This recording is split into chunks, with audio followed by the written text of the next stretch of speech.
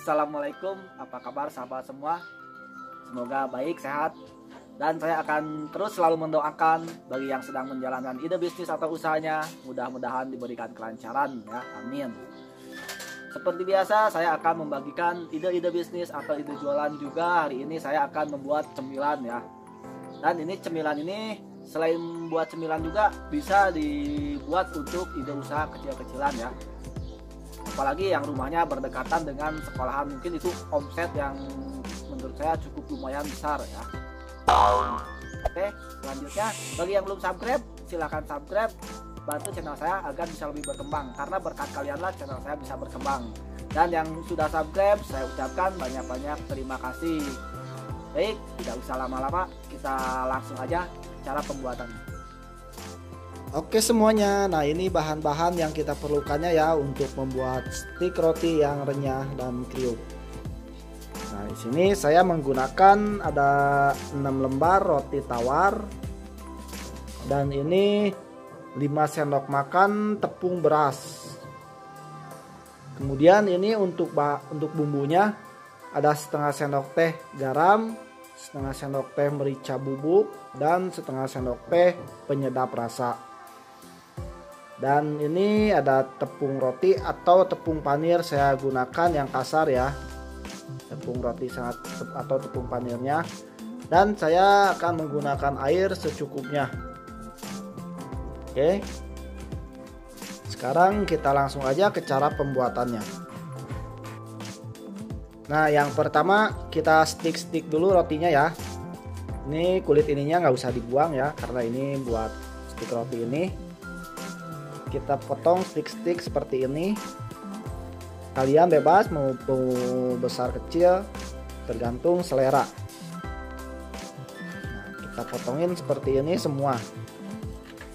Nah ini selain buat ide jualan juga bisa buat cemilan di rumah. Untuk keluarga ya. Nah kita potong-potong semua seperti ini oke? okay? Oke ini rotinya sudah saya potong-potong semua dari 6 lembar itu menjadi banyak ya. Nah kita ke langkah selanjutnya yaitu ini tepung berasnya. Kemudian kita satukan bumbunya. Kita satukan semua. Jadi kalian menyeduhnya bisa menggunakan air biasa Ataupun menggunakan susu ya. Menggunakan Maksud saya menggunakan susu cair. Nah kalian bisa menggunakan susu cair untuk mencampur ininya ya tepung apa tepung berasnya. Oke kita aduk dulu ini hingga merata. Nah lalu kemudian kita kasih air secukupnya. Kita aduk terus. Misalkan kalau ingin agak tebal mungkin adonannya kalian bikin lebih kental. Jadi kesi rotinya jadi agak tebal untuk jualan mungkin bisa lebih tipis ya untuk kulitnya. Oke adonannya sudah jadi ya. Jadi kekentalannya seperti ini ya. Kalian bisa lihat sendiri jadi jangan terlalu encer. Nah kita ke langkah selanjutnya.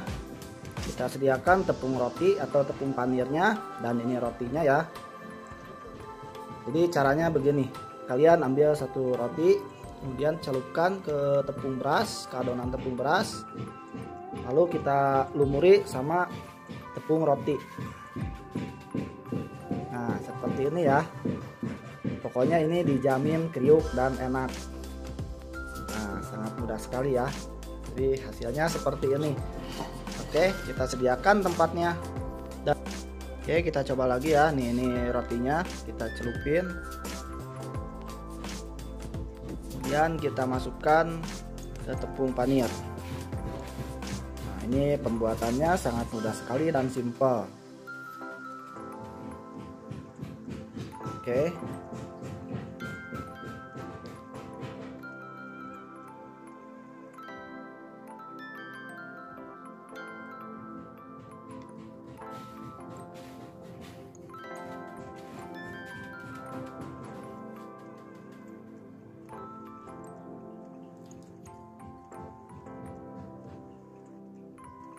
Nah ini untuk tepung panirnya kalian bisa menggunakan yang kasar ataupun ada yang lembut ya. Kita angkat kita celupin lagi kita taburi sama tepung roti.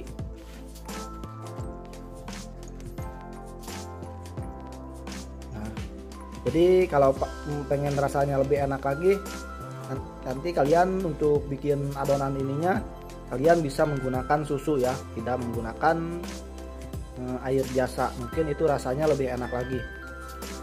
Karena ini buat jualan saya kasih contoh cukup menggunakan air biasa saja ya untuk menghemat pengeluaran kita untuk menghemat modal ya.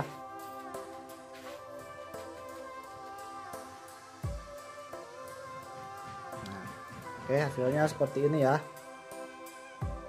kita lakukan sampai habis seperti itu. Oke nih ini sudah beres semua ya. Nah ini kalau kita dijual per biji itu mungkin harganya cukup murah sekali ya. Kita bisa jual dengan harga 500 rupiah aja per bijinya. Oke kita langsung aja sekarang ke penggorengan. Oke ini minyaknya sudah panas ya. Kalau sudah minyaknya sudah panas kita kecilkan aja apinya kemudian kita goreng. Kita goreng maksud menggunakan api kecil itu biar tidak cepat gosong ya.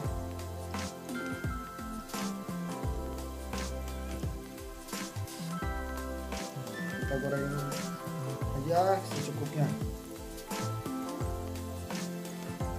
Nah, ini pembuatannya sangat mudah sekali dan bahannya pun cukup simpel. Oke saya akan goreng segini dulu ya. Nah kita gorengnya diaduk aja ya. Jadi dibalik-balik. Nah sambil dibalik-balik tunggu hingga warnanya agak kuning kecoklat-coklatan nah ini kalau digoreng dia agak mengembang jadi bagi kalian yang punya roti sisa mungkin bisa dibuat seperti ini ya. Buat cemilan terbaru. Jadi nggak akan kebuang rotinya.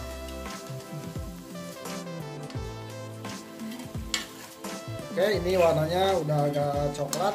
Kita angkat aja ya. Kita angkat aja semua.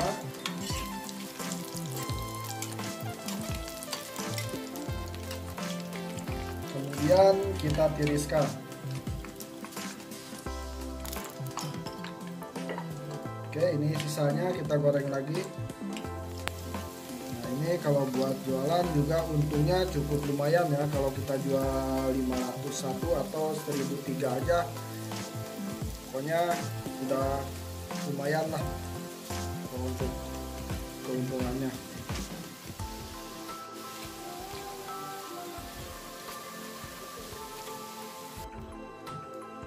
Nah, stick rotinya sudah jadi ya. Sekarang saya akan kasih topping agar biar lebih cantik menggunakan saus ya. Saya akan kasih topping menggunakan saus.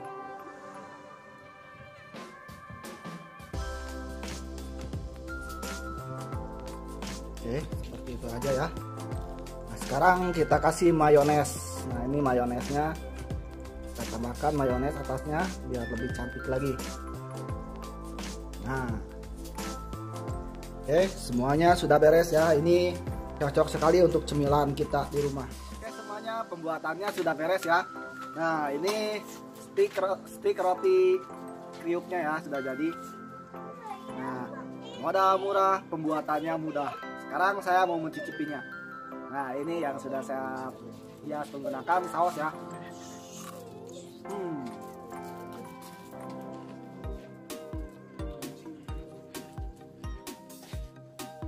Pokoknya rasa, soal rasa dijamin enak. Baik semoga bermanfaat. Terima kasih sampai jumpa di video selanjutnya